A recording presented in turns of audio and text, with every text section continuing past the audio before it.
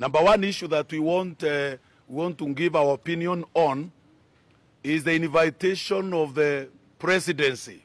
This is the, the president and the deputy president to keep off Meru County. We categorically refuse that position. Yes.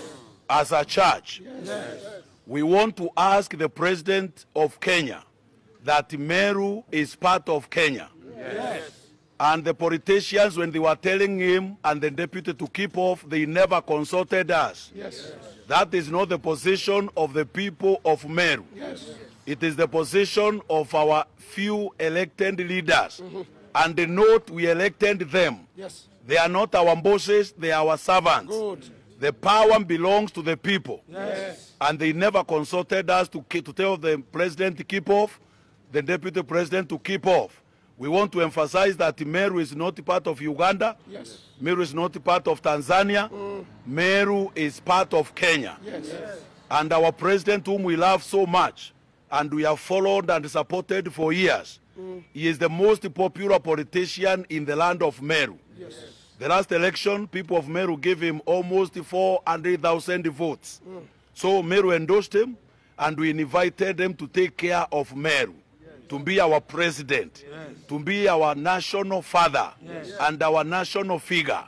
So those who are telling him to keep off, we don't know what is the agenda. Which agenda is this? That is making our leaders to tell the president and the deputy keep off. Leave the business of Meru alone. We refuse that position and we invite them to come and be together with us. Bwana Yesu asifiwe. Is that our position, servants of God? Yes. So we invite the president to come and uh, we'll see what is happening in Imeru.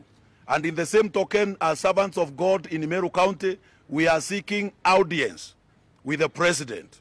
We want to sit with him as a church that he may hear us and listen to us and they know that things are not as he has made to believe, if he has ever believed, by what has been said by our politicians. Number two, there is a, there is a retro a retro problem between the governor and the deputy deputy governor. But uh, according to us, this crisis has not gone beyond. It does not warrant the measures that our political leaders or political class are recommending, Yeah.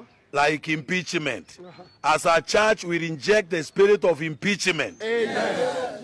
It will not solve any problem. It will make Meru stagnate.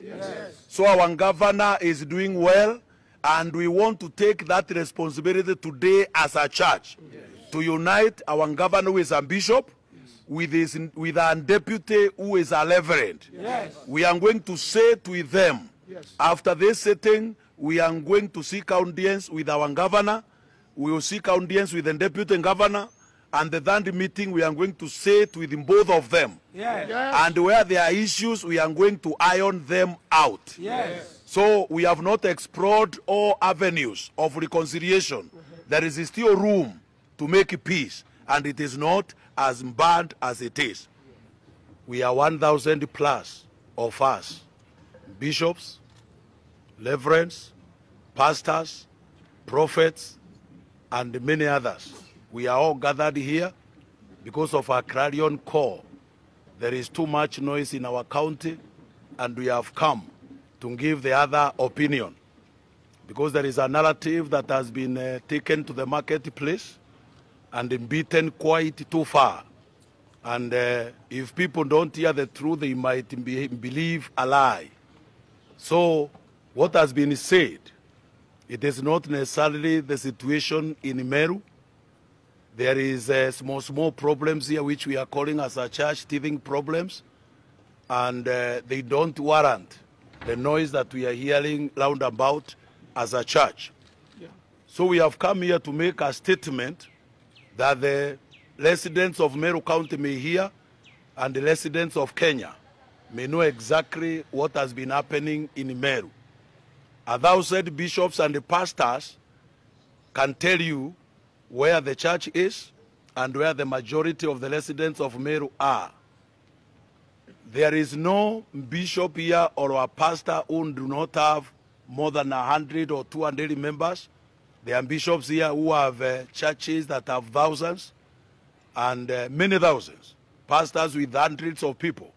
And I don't believe there is a pastor here with less than 50 people.